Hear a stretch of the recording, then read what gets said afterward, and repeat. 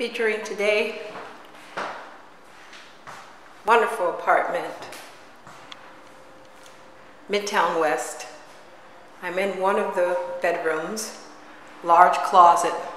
This is a railroad style, but it has two entrances, which makes it completely separate. This is a bedroom facing the front of the apartment, overlooks 9th Avenue. And this door opens from this end. And as you pass through, it opens into this stunning, long, wide kitchen living room area. As you can see, we have stainless steel appliances throughout, dishwasher, this is the second bedroom here.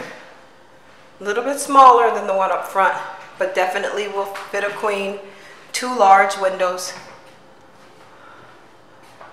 Complete sunlight in both of the bedrooms. Large closet. It's a completely new apartment, brand, brand new. Tons of cabinet space in the kitchen. Large fridge and the bathroom, very deep bathroom with a full tub, full-size tub. This is two bedroom. Midtown West, I would say winged railroad style, two bedroom, third floor walk up on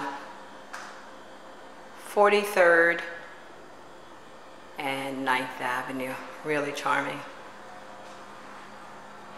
That's that living area. Tons of wall space to put nice flat screen. I'll close it out with the kitchen area, showing you those appliances again.